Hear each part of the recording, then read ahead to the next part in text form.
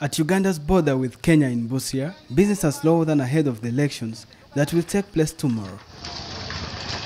Some of the traders we spoke to at the border say their election wave has affected their business because Kenyan clients are no longer crossing to Uganda to buy commodities. At the main entrance in Busia, traffic is still low and few people can be seen crossing the border. Meanwhile, on the other hand, the government of Uganda today confirmed that hundreds have been crossing to Uganda in the last couple of days ahead of the elections. We are experiencing uh, uh, an increased volume of traffic coming in from uh, Kenya, especially through Busia, Busia border, and, um, and Wakaka. We have, uh, these uh, volumes of traffic has increased uh, threefold.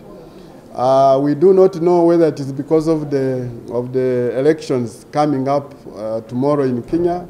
While addressing journalists, today at the weekly security briefing at the police headquarters, the spokesperson of the Ministry of Internal Affairs, Simon Mundai, revealed that many Ugandans who have been working in Kenya have also returned to Uganda.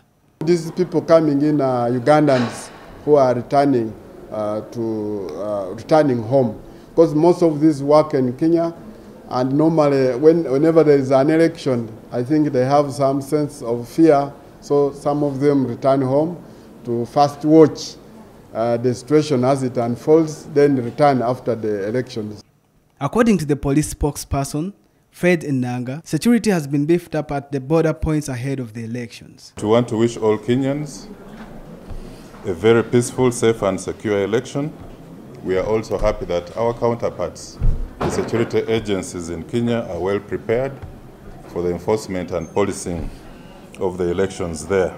Enanga says that Uganda is ready for any eventualities that may happen during and after the elections.